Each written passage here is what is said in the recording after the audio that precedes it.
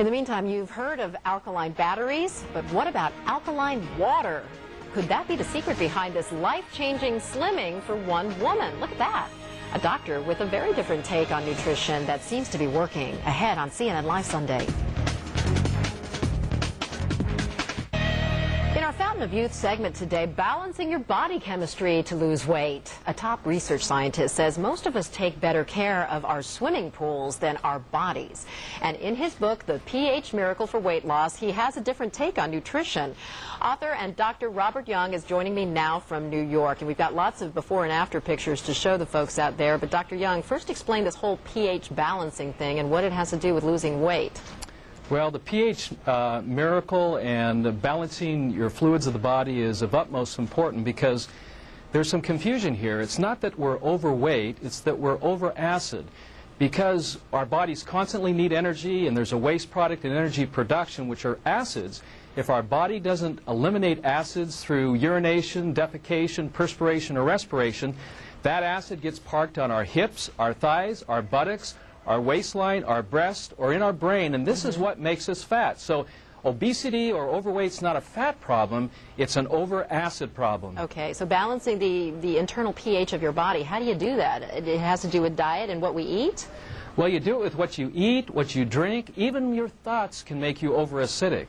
And so it's really important to focus on more alkaline, more alkalizing foods like Okay. spinach and parsley All or right, wait, celery. I have to explain the side panel on the screen. We're listing a bunch of acidic foods. These are the foods you're saying that we should avoid? Beef, chicken, dairy products? I mean, those are really the foundation of most people's diets. Well, the foundation of most people's diet, the standard American diet, is over acid. And when we're over acid, this is what makes us sick, tired, and overweight. So animal proteins and dairy products, even the wrong kind of water, acidic water, if we're drinking carbonated water, these are acids that build up in the system. And if not eliminated, Uh-huh. they build up in our fatty tissues, in our connective tissues, and it's acid that makes us fat. So you're saying that we should be more green. We should eat more greens, like you're listing leafy greens and cucumbers, olive oils. Exactly. We need to move more to an alkalizing diet, more green foods and uh, drinks, and also good healthy fats. Uh, good healthy fats like from fish, sea bass, trout, salmon, even mackerel or tuna, as well as uh, seed oils like flaxseed or hemp seed, olive oil. These fats can actually neutralize acidity and help us to become more healthy and more energetic and help us to maintain our ideal healthy weight. All right, so what do you eat for breakfast? I mean, you can't have cheese, you can't have eggs, you can't have dairy. Well, this is where my wife comes in. I mean, she has created some incredible recipes. Uh, Shelley, the co-author of the pH Miracle for Weight Loss, uh, has provided over 100 recipes in the pH Miracle book on how to alkalize. And one of the most important meals that needs to change Right. is breakfast. And I know this may sound strange, but eating a, a salad or having a vegetable soup uh, for breakfast or even some steamed veggies, broccoli or some spinach, even we, Okay. uh, in the morning, we make Well, a, gr- a green shake. Uh-huh, a green shake. A green right. shake with cucumbers and avocados. Rather than going to protein, Okay. we go to Tell alkalizing kids, foods. Tell the kids it may not go over.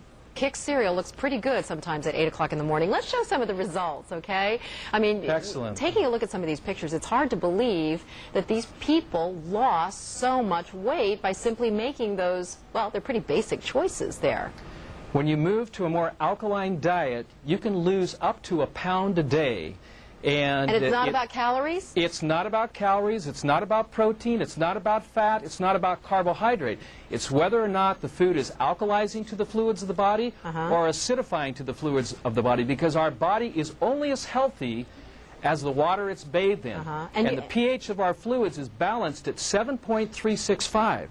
And, and you, you also say that exercise can make you fat. So you're saying don't exercise? No, it's not that exercise is bad, is when we over-exercise, we produce lactic acid, and that lactic acid is thrown out into the fatty tissues, which can cause the body to go into preservation mode, which can then also make us mm-hmm. sick, tired, and also fat. All right. You know what? If I don't have to count calories and I don't have to exercise, no, you can. You have to exercise. Exercise is oh. important. The most Okay. important part of exercise is sweating, because you eliminate acids through perspiration. All It's when you over-exercise it's not good for you, okay? Okay, Dr. Young. So definitely exercise. Okay, couldn't get away with it, could I? Thanks very much. Dr. Robert Young, author of The pH Miracle for Weight Loss. Okay, eat healthy. Don't forget to exercise.